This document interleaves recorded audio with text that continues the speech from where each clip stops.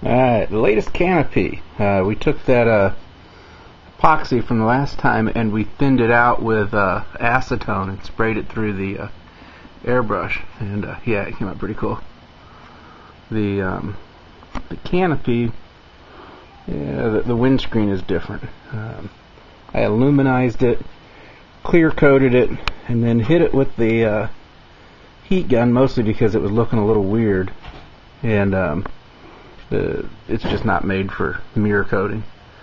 The the canopy part is, but when I heated it, it made a kind of a cool. I don't know how to describe it. Kind of a frosted look, and it kind of swirls and does some weird stuff, but it came out alright. This is the uh, Createx water-based paint I got from Michael's Arts and Crafts, and um, yeah, it's better. Definitely got a little shine to it.